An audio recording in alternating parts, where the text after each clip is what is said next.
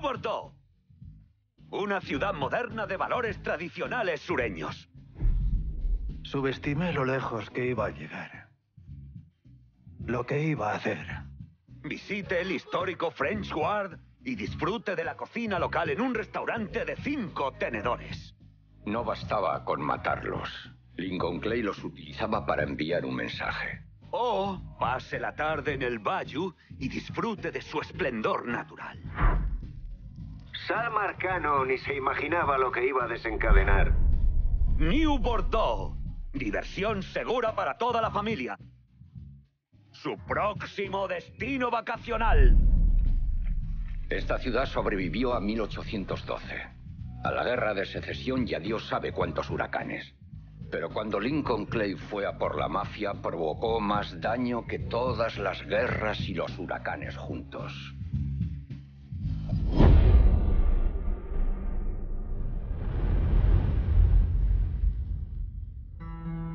La madre de Lincoln lo abandonó en 1947, cuando tenía un par de años. Decían que la madre era dominicana. Supuse que su padre era blanco, quizá italiano, no importaba. Entonces, si parecías negro, eras negro. Igual que ahora, supongo. Estuvo en el orfanato hasta 1958. ¿Cuándo conoció a Lincoln Clay? En 1966. Yo dirigía operaciones secretas de la CIA en Laos. Me lo prestó un grupo operativo conjunto de la CIA y el Departamento de Defensa. Un chico tranquilo. Un buen chaval. Dos corazones púrpura, una estrella de bronce y la cruz por servicios distinguidos. Sirvió a su país con honor y distinción. Cuando el ayuntamiento cerró el orfanato, lo captó Sammy Robinson. Sammy dirigía la mafia negra en Delray Hollow. No me parecía bien. Pero los huérfanos no tenían muchas opciones entonces. Los chicos como Lincoln, los que han sido abandonados, siempre buscan un hogar. Lugar al que pertenecer. Creyó encontrarlo en el ejército. Pero una vez que lo pierdes, nunca lo recuperas. Al volver de la guerra, acabó viviendo con Sammy. Sammy debía mucho dinero a la mafia italiana. Y Lincoln podía ayudarle. Es una lástima lo que pasó. Me parte el corazón.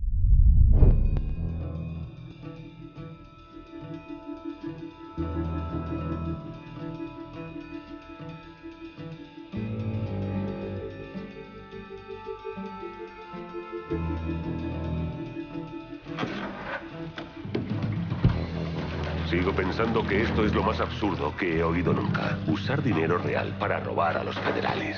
Joder, tío, ni que fuera nuestro dinero. Es de escaleta. Además, no es nada comparado con lo que vamos a sacar. ¿Es todo lo que hay que quemar? Sí, eso es. Coge las llaves del camión y vámonos cagando leches.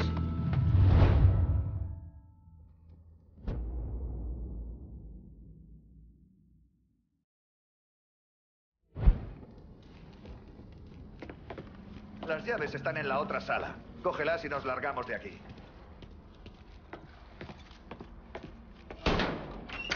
No sé si dejarlo así. Apareció en el camión, como le habíamos pedido. Incluso un a su compañero para que quedara bien. Pero si tienes dudas, ¿por qué arriesgarse?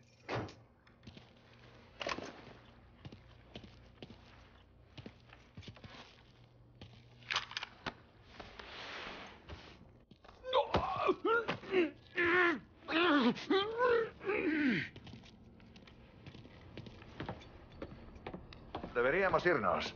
Tú tienes las llaves, así que puedes conducir. Vamos, hay que largarse de aquí ya.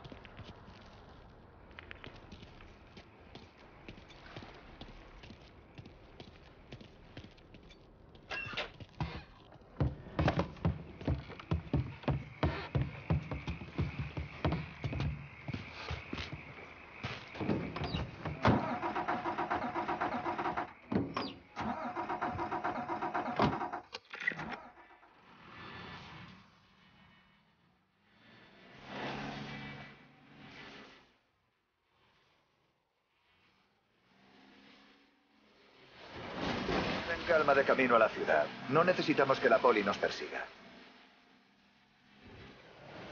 Ese pobre desgraciado no tiene ni idea de lo que le espera. ¿Cuál era su parte? ¿El 5%? Más o menos, pero no podrá gastarlo. La policía vigilará todos sus movimientos el resto de su vida. Quizá deberíamos habernoslo cargado. Si algo aprendí en Vietnam es que siempre es bueno colocar a alguien ahí fuera, usarlos para captar la atención de todos. Entonces tú aprovechas para alargarte. Pues respóndeme a esto. ¿Qué es la cosa más bestia que viste allí? No quieras saberlo. Escucha, tío, yo pago mis impuestos. Tengo derecho a saber cómo se gasta mi dinero. ¿Georgie Marcano paga impuestos? Pues claro que sí, leches. Así trincaron a Al Capone. No pienso ir a la cárcel por no pagarlos. Ah, ¿Piensas responder a la pregunta o no? Estábamos en la costa de Quang Nei, evacuando a los civiles antes de que Charlie se apoderara de todo. En fin, estábamos subiéndonos a un barco médico y aparece una mujer, con un bebé en un brazo y tirando de un cerdo con correa con el otro. Empieza a subir por la rampa y el PM la para y le dice que solo puede subir uno de los dos. Entonces tira al bebé al agua. El PM se cabrea, le dice a alguien que se tire a por el bebé y se pone a gritar a la mujer que en qué coño está pensando. ¿Sabes qué le contesta ella? Va y le dice, siempre puedo tener otro bebé. Por el amor de Dios. Eso te pasa por preguntar. Pensaba que me ibas a contar algo en plan que viste cómo le volaban la polla a alguien o algo así. Joder, joder. No era culpa suya. No es lo que te crees. Dios. En esas condiciones, mira, un día estás criando tu ganado o cultivando arroz y al día siguiente te lo han arrasado todo. Cuando está entre la espada y la pared, la gente hace lo que sea por sobrevivir. Pues ya podía estar bueno el cerdo.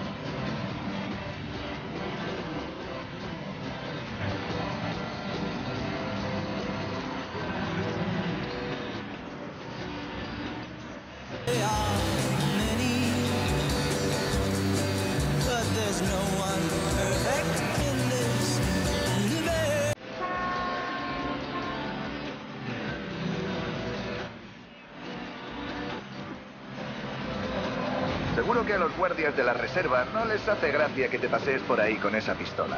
La dejaré bajo el asiento.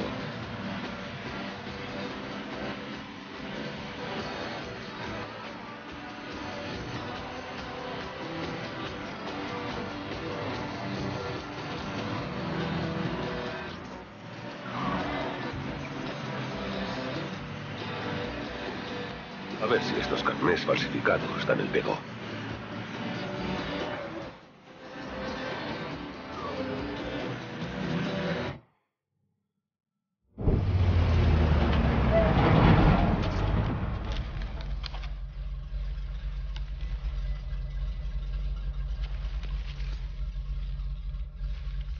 Llevadlo al muelle de carga.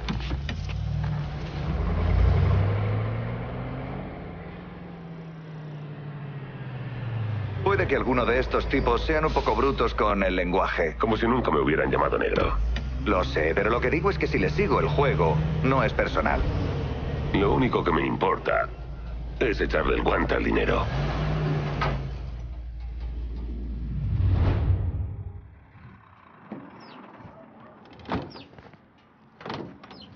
Cuando diga que hace calor o algo así, es cuando actuamos. Vale.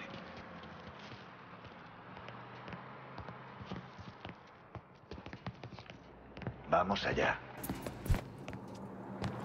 Acercad los carnés al cristal. Somos del equipo de cremación. ¿Qué coño hace aquí este cabrón? Discriminación positiva.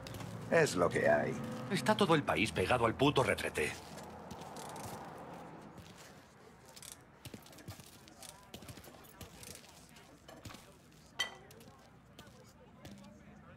Sígueme. En cuanto a ti, coge esas bolsas del camión. Vas a llevarlas al crematorio. ¿Cuánta pasta traéis aquí? 238.546 dólares. En billetes pequeños. Haré que la señora Gale te llame a la oficina cuando acabemos. Ella te confirmará la entrega. Se agradece.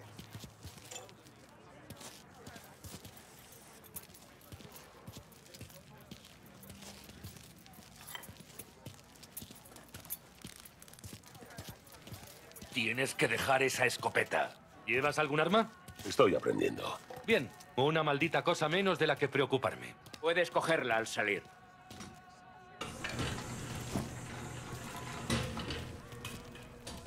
El crematorio está abajo, en el sótano. Por aquí. Creo que nunca os había visto por aquí antes. Estuve en Georgia un tiempo. Ahora está fuera de servicio. Mi primo lleva más de un año intentando ganarse la vida aquí. Sirvió en la Marina en dos ocasiones. Tiene un montón de condecoraciones. Y el gobierno le dice, gracias, pero no, gracias. Eso es un montón de mierda de los gordos. Es triste que un blanco no pueda conseguir un trabajo mientras que contratan a cualquier negro sin pestañear.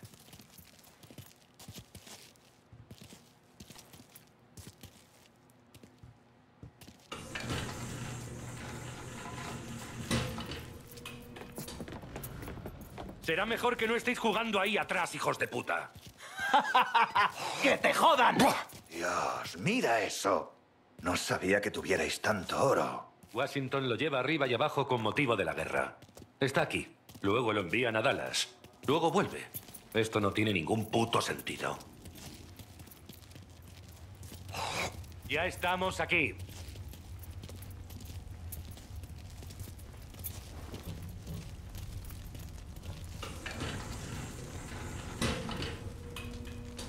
Pon las bolsas en esa mesa.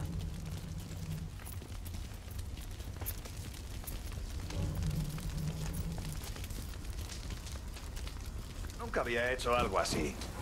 Imaginé que sería más grande. Cumple su función. Solo te da problemas cuando se atasca el tubo. Joder. Menudo calor. Antes se usaba carbón, pero hace alrededor de un año cambiamos al petróleo. Mantiene una llama más constante. Ese tío era un capullo. Tenemos que irnos. Danny y Ellis llegarán de un momento a otro. Ah, Un segundo.